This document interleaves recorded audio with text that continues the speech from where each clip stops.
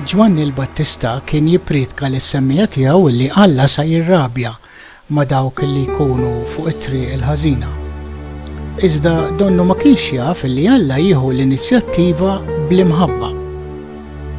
Imħabba illi ssalva dawk illi ma jistħoqqilhomx. Kien Ġesù illi urielna din.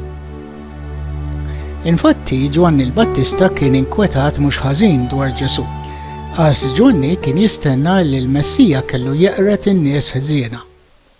Imma Ġesù m'għamilx hekk. Ġesù għaraf lil Ġwanni bħala dak li wittielu t-triq lil Ġesù. Iżda meta Ġwanni, meta kien maqful il-ħabs, bagħat messaġġiera jesprimu d-dubji tiegħu dwar Ġesù, Ġesù bagħathom lura għand Ġwanni wara li qalilhom isemmulu l-frott tal-ħidma pastorali ta' Ġesù, ħidma li wasslet fejqan u maħfra. Tgħum ukoll din il-barka daqsxejn misterjuża, Hieni hu min ma jitfixkilx minħabba fija. Henjin aħna li ma nagħlqux qalbna għal Ġesù Kristu. Mhux din it-tifsira ewlenija tal-kelma fidi, li niftħu qalbna bħal wieħed li jafda?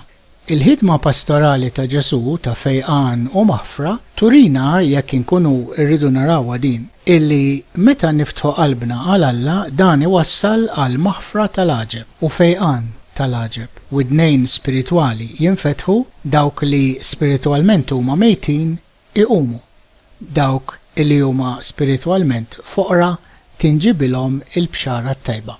Ir-Renju t'Alla dejjem viċin viċin issa sar id-dar fejn ngħixu.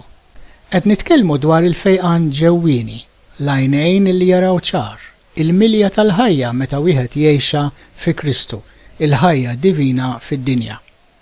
Żmien ta' sliem tassew u hena. Forsi huwa dan li l-profeta Iżaija, aktar minn seba' mitt sena qabel Ġwanni u Ġesù, kien qed jirreferi għalih permezz ta' tixbieha. Ħa jifirħu d-deżert u l-art maħruqa. Ħa jifraħ ix-xagħri u jwarrad, Ħa jwarrad bħar-ranċiż. Imbagħad jinfetħu għajnejn l-għomja, jinfetħu widnejn it-torox. U mbagħad iz-zopp jaqbeż bħal għażżiela u lsien l-imbikkma jinħall bil-ferħ. Iva, igelgel l-ilma fid-deżert u x-xmajjar jiġru